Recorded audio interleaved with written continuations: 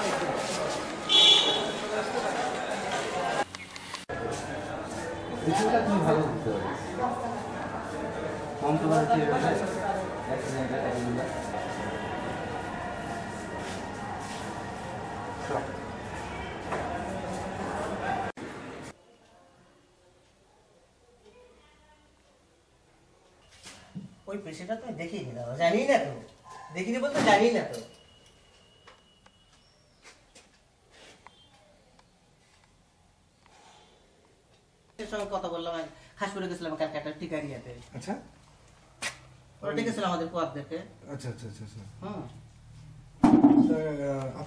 Certificate কীরকম চিকিৎসা করান ওনাকে? চিকিৎসা দেখা গেলো জ্বর সর্দি কোনো পেট খারাপ বমি ডায়রিয়া এরকম সমস্যা হলে আমরা আসে বলি ওষুধপত্র দেয়।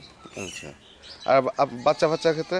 বাচ্চার ক্ষেত্রে হয়তো সর্দি লাগল আসলাম বা জ্বর হলো আসলাম। উনি এবার ওষুধ দিয়ে যদি বলে যে এটা সারবে হলো যদি খুব খারাপ অবস্থা থাকে বলে তোমরা হাসপাতালে দেখাও বা বড় ডাক্তার ফাক্তারের কাছে নিয়ে যাও এরকমভাবে চিকিৎসা ডাক্তারের কাছ থেকে ওষুধটা কোথা থেকে পাওয়া যায়?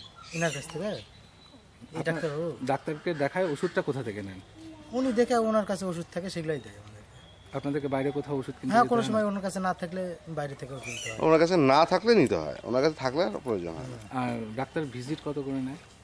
ভিজিট বলতে ওইভাবে না হয়তো আসলাম আমরা ডাক্তার ডাক্তার দেখালাম ওষুধপত্র দিল দিয়ে একটা বিল মনে করেন হয়তো দুশো টাকা বা একশো টাকা বা দেড়শো টাকা যেরকম হয় সেরকম নেয়। আপনার নাম? আমার নাম বকুল মণ্ডল। তারপর তো ঘুমিয়ে পড়েছি। আজকে হঠাৎ করে ওইখানে আপনার আসেন এই যে স্পটটা দেখা দিন হুম, ঠিক আছে কথাটা বলে নিই যাচ্ছি স্পটে যাচ্ছি। আমরা যাব।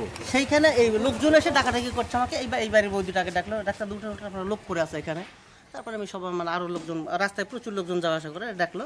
তারপর উঠলাম কি ব্যাপার? লোক পড়ে আছে আর কি। তখন প্রচুর লোক অলরেডি চলে এসছে।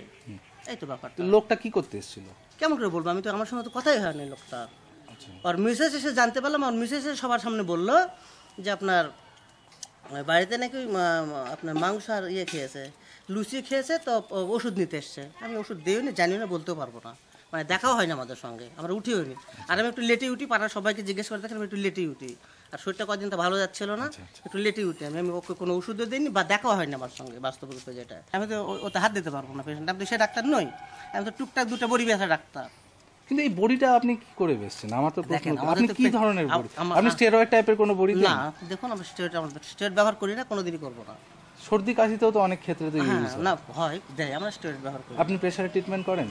পেশেন্ট জটিল কোনো কিছু করি না আমরা। আমরা জটিল কোনো কিছুই করি না তো। হয়তো একটা পেশেন্টের পরিবারের ছেড়ে দেবো আমরা ঠিক করি না কথা বুঝতে পারলেন তো? টুকটাক আমার আমাদের ইয়েতে টুকটাক। ঠিক। হ্যাঁ। সঠিক তো আমরা জানি না বুঝলেন তো? সকালবেলা উঠে বলছে যে ওকে পাওয়া যাচ্ছে না ও তো ওষুধ নিতে গিয়েছে। তারপর যাই দেখি খোঁজ টোজ করে যাই দেখি হ্যাঁ ডাক্তারবাবুর বাড়ির নিচে তো শুয়ে আছে। হয়তো ডাক দিয়েছে ওর বাড়ি তো দোতলা তো হয়তো উঠতে দেরি হয়ে গেছে ওখানেই। কটা থেকে গেছিল ওষুধ নিতে? ও সকালবেলায় হবে ভোরবেলা দিকে। তাও আনুমানিক? চারটে হবে। আপনারা যখন যান তখন কি ডাক্তারবাবু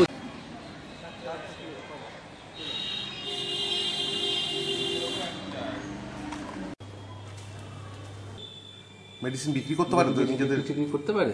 এখন এদের নামই আপনাদের কিন্তু পরিষ্কার কোয়াক ডক্টর মানে ডাক্তারি করেছে কিন্তু ওদের প্রথাগত ডিগ্রি নেই। ফলে পেশেন্ট দেখা রোগী দেখা ওষুধ দেয়া এটা করতেই পারে কিন্তু যদি আইনগত ধরেন তাহলে পারে তা যেহেতু ব্যাপারটা আপনি আমার নজরে আনলেন এই ব্যাপারটা আমরা যথা জায়গা- জায়গায় মানে দেখার চেষ্টা করছি যথাযথভাবে দেখার চেষ্টা করছি। আরও খবরের আপডেট পেতে সাবস্ক্রাইব করুন আমাদের ইউটিউব চ্যানেলটি আর বেল আইকনে ক্লিক করুন নোটিফিকেশনস পেতে।